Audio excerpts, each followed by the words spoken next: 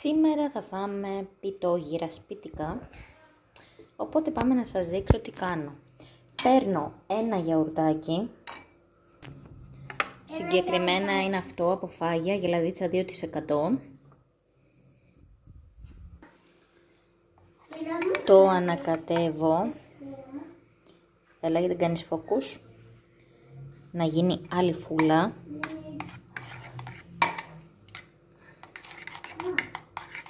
Πάμε να καθαρίσουμε σκόρδο και αγκουράκι. Έχω τρίψει το αγκουράκι, μισό αγκουράκι, χωρίς τη φλούδα, γιατί τόσο ακούμε και για τα φυτοφάρμακα και για όλα. Να μου πεις θα έχει ποτίσει και μέσα, αλλά τέλος πάντων όσο μπορούμε να τα αποφεύγουμε. Να τρώμε όσο πιο υγιεινά έστω μπορούμε. Τα ανακατεύω και τώρα θα τρίψω τις τρεις κελίδες σκόρδο γιατί αν δεν βάλεις τρεις κοιλίδες κόρδο, τι σόι Ελληνάρα είσαι, πώς το τρως στο τζατζίκι. Ανακατεύουμε. Έχω την καλύτερη σκούπα, ονομάζεται Κύρα Ζητιάνα. Για σένα λέω, ναι. Για σένα λέω, για σένα, για σένα. Τα ανακατεύουμε, να είναι μπόμπα. Και τι άλλο μας μένει; Ξιδάκι βεβαίως, βεβαίως, που εγώ το αγαπώ, το λατρεύω. Συνήθως ρίχνω ένα σφινοποτηράκι για να βγει μπόμπα το τζατζίκι.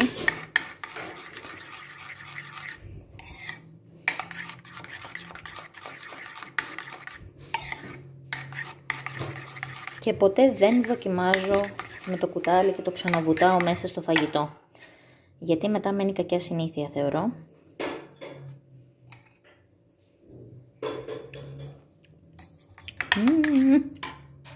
Τέλειο. Γιατί παιδιά αν δεν φας το κλασικό, το ελληνικό το πιτόγυρο που έχει και κρεμμύδι και τζατζίκι μέσα, τι να λέμε. Ελληνάρας παιδί μου. Πιτούλες Elviard από το My Market τις παίρνω. Είναι πίτες καλαμποκιού, αφράτες μυρωδάτες 100% πολύ νόστιμες ένα μηχάνημα που μας έχει λύσει τα χέρια, τεφάλ. Είναι το Opti Grill, έτσι ονομάζεται. Ψήνει τα πάντα, από κατεψυγμένα μέχρι ό,τι θες. Ε, ψήνει ψάρια, ψήνει τόστ, το πιο απλό, το τόστ το βγάζει, τέτοιο τραγανό τόστ δεν το έχετε ξαναφάει. Είναι έτσι με τις πλάκες του. Και είναι καταπληκτικό. Από 200 ευρώ στα 130 τα Χριστούγεννα του πήραμε. Και το σημαντικότερο χωρίς έξτρα λάδια. Ο γύρος είναι χοιρινός, είναι κατεψυγμένος γι' αυτό γυαλίζει. Κλείνουμε. Πατάμε ελαφρώς και τα αφήνουμε να ψήσει. Εγώ έχω βάλει κόκκινο φως. Για να... Το κόκκινο φως σημαίνει ότι πρέπει να είναι άριστα ψημένα. Τα βγάζει παιδιά καταπληκτικά. Μαγειρεύω από τα Χριστούγεννα εδώ. Οπότε μπορώ να σας πω τα καλύτερα. Ένα συν στην κουζίνα. Οι πατατούλες έχουν μπει να τηγανιστούν. Προτηγανισμένες πήρα. Θα μπορούσα να κάνω εγώ, αλλά θα σας πω τώρα αμέσως γιατί δεν έκανα.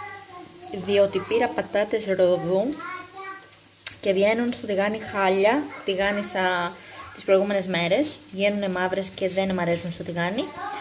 Οπότε προτιγανισμένες, γρήγορα, εύκολα και αυτές θα τις κάνω σε φούρνο ή σε βραστό φαγητό. Πάτα το σαλάτα, θα δω. Έχω και εδώ το Masterchef Junior. Η διαδικασία που ακολουθεί είναι η εξής. Βάζω το γύρο. Είναι γύρο. Είναι γύρο, ναι, γύρο χοιρινό.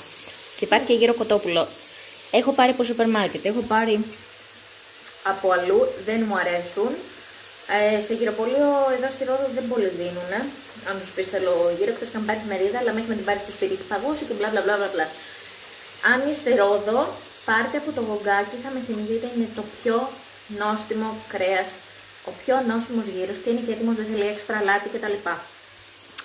Τα έχω φτιάξει εδώ πέρα τζατζίκι, ντομάτα, κρεμμύδι. Εδώ είναι ο γύρος μου.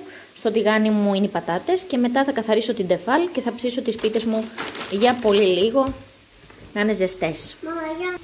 Και εννοείται τις πατατούλες πάντα τις στραγγίζουμε. Παίρνω μία λαδόκολα, ψαλιδάκι κουζίνας και κόβω σε τετραγωνάκια μικρά περίπου τόσα για να τυλίξω την πίτα στο τέλος. Χαμός. λαδόκολες, να. Ένα τετράγωνο χαρτάκι, σκεφτείτε, σαν να χωράει μια πιτούλα. Πιατάκια. Χαρτοπετσέτες για να βάλουμε πάνω από τη λαδόκολα μετά. Οι πίτες ψήνονται. Ο γύρος, οι πατατούλες είναι πολύ ωραίες. Το ρίξαμε έξω σήμερα. Επομένως καταλαβαίνετε ότι μπορείτε και στο σπίτι να κάνετε κάτι που θα παίρνετε απ' έξω. Παιδιά, καμεραμάν είναι η Αλεξάνδρα. Ελπίζω να βλέπετε. Βλέπουμε και το χεράκι της εδώ. Στην κάμερα. Λοιπόν, ζει κιόλας ότι είναι έτοιμο. Έχουμε και παπαγαλάκι εδώ πέρα. Βγάζουμε τις πίτες λίγο να μην έχουν υγρασία. Λοιπόν, ο Χρήστος θέλει πίτα κλαμπ και ο Γιώργος δεν θέλουν ε, πίτα στο χέρι. Η Αλεξάνδρα πήρε πίτα στο χέρι. Οπότε, στρώνουμε μία πίτα, βάζουμε τζατζικάκι. Βάζουμε μετά γύρω, ντοματούλα. Ντομάτα. Κρεμμυδάκι βάζω. Και πατατούλες. Ή θες να σας βάλω σε πιάτο. Μέσα.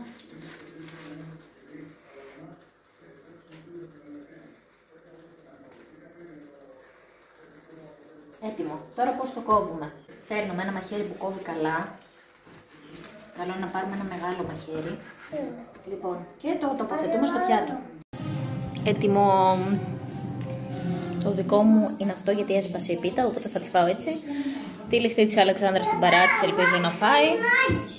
Βλέπετε τι γίνεται. Ένα μπάχαλο. Εδώ άδειασα το ζουμί από τα φασολάκια. Ένας χαμός. Μην ξεχνάτε λοιπόν να είστε όμορφοι μέσα και έξω προπάντων εσωτερικά. Σας αγαπώ πολύ. Η επόμενη συνταγή έρχεται αυτό το υπέροχο ψωμί. Συντονιστείτε.